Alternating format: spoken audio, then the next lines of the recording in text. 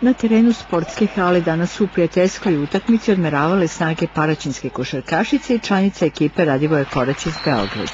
Ovo je prijateljska utakmica ili što bi e, tren, treneri rekli trening utakmica, pošto oni ne vole taj izraz prijateljska utakmica, nijedna utakmica nije prijateljska, između ekipe Koraća i naše ekipe, ekipe Paraćina. Moram da vam kažem, ekipa Radivoje Korać je jedna od najorganizovanijih e, ekipa u, u Srbiji, u ženskoj košarci, posle Partizana možda i najbolja, najbolja ekipa.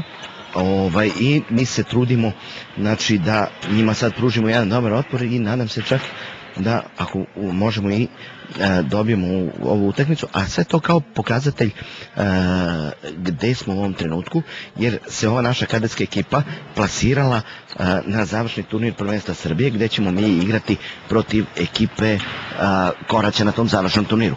I gde mi očekujemo čak i borbu za jednu od medalja. Ženski košarkaški klub Paraći nedavno je obeležio jubilej 40 godina od osnivanja, a njegov predstavnik kaže da je klub najbolji u okruženju.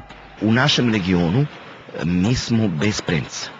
Znači, sve što igramo, e, nama je gusta utakmica kada je 30 razlike za nas.